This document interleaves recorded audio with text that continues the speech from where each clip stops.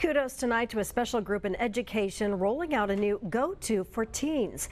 It is a wellness center, and not just one, but 11 of them, happening on each campus in the Oxnard Union High School District.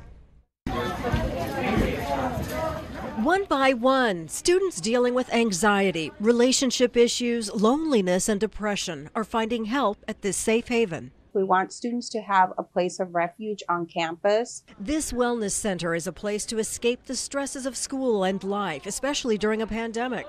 Students at Pacifica High School voted to name their center the Cove. The Cove is um, a more calmer part of the ocean that's more um, it's a it's circular and safe.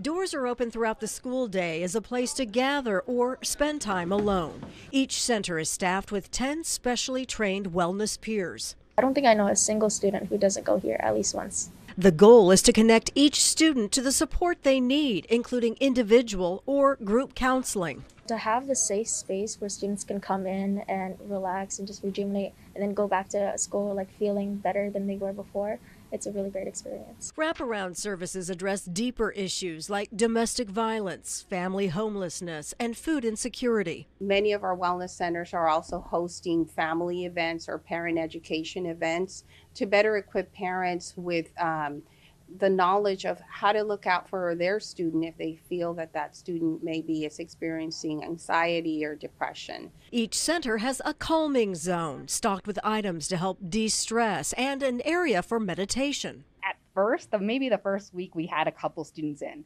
Slowly, surely, we'd see students that were in coming into uh, with classes they'd be showing up during lunch and nutrition. Sometimes we have way too many students in the center that we have to, you know, cut it off. It's a place of healing and sort of a home away from home. I would love students and parents to know that it's okay to get help, um, and it doesn't. Getting help doesn't mean that you're weak. It just means that you're not alone.